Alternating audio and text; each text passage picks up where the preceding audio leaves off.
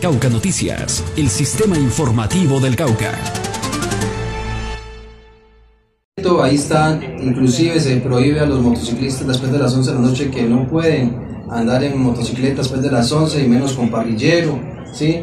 Un trabajo articulado de seguridad con la policía, con el tránsito de nuestra ciudad, con el ejército. Vamos a estar trabajando muy fuerte en las entradas y en las salidas de la ciudad, también para darle ese compás de tranquilidad a nuestros ciudadanos y a sus visitantes.